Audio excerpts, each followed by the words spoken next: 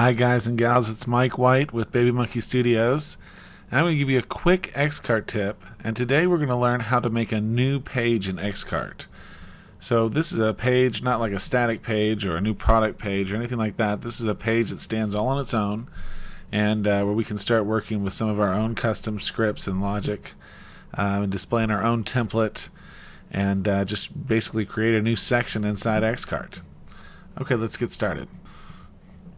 So what I've done here is I've just copied news.php and started with that base.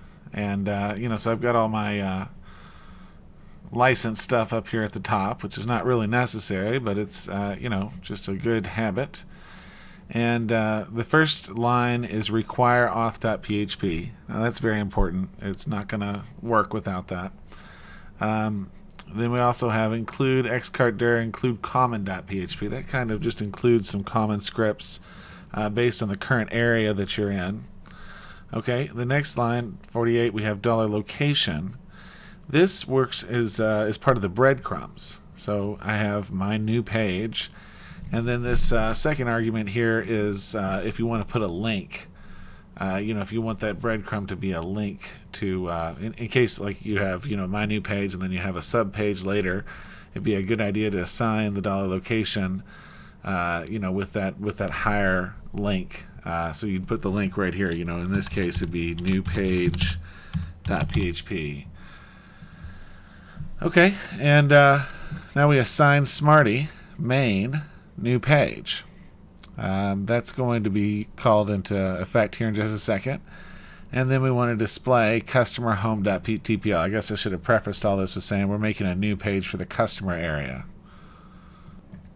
Okay, so with all that done, I'm just going to save that. I'm saving it as new underscore page.php right in the root uh, folder of Xcart. And the next uh, thing we want to do is start getting a template together to uh, display. So I should also mention that I'm doing everything within uh, Ideal Responsive Skin. Uh, you could be doing this in the Common File Skin or wherever you'd like.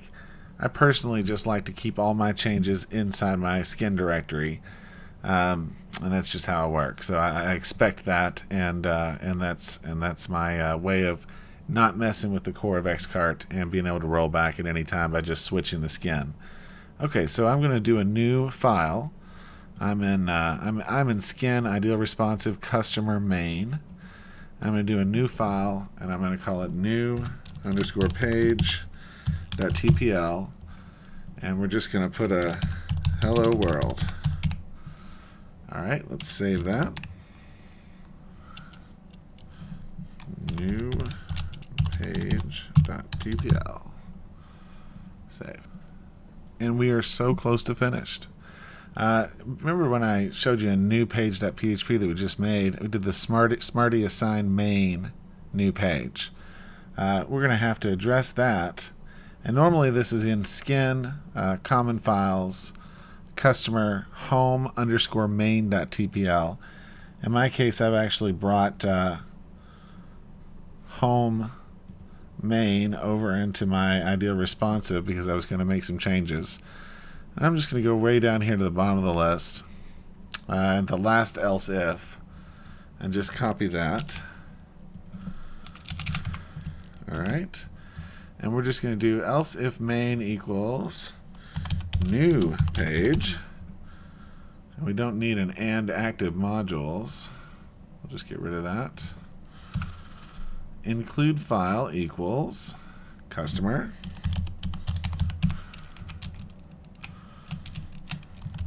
main new page.tpl.